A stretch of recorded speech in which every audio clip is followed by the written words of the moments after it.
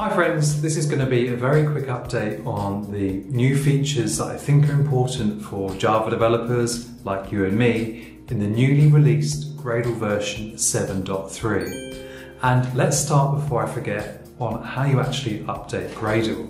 And the way you do this is to use the Gradle wrapper task and you say Gradle w wrapper dash dash Gradle dash version equals and then the new Gradle version, which is 7.3.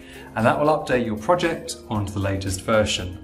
Now, sorry about the sun by the way, but for us Java developers, I think the most interesting feature is the fact that we can now run our project using Java version 17.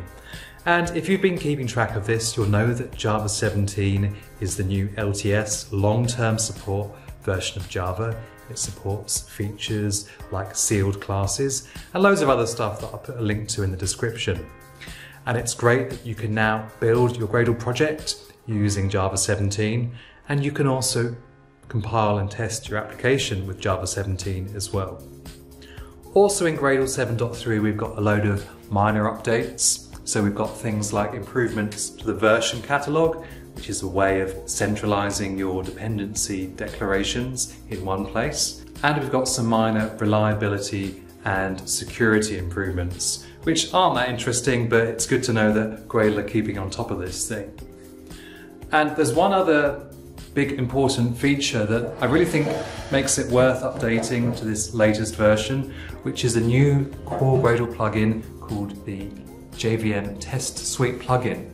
Now, up to this point with Gradle, if you wanted to separate your unit in integration tests, you had to have quite good knowledge of how to set everything up using the Gradle APIs to create a separate source set and other configuration, including creating a new task specifically for running integration tests.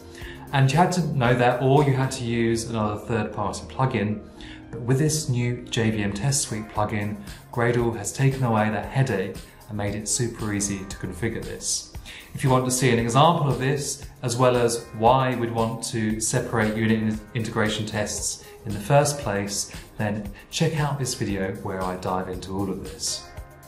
So hopefully you have heard something here that makes you think it's worth updating. Let me know what feature is going to convince you to upgrade this latest Gradle version 7.3. Thanks a lot and I'll see you in the next video.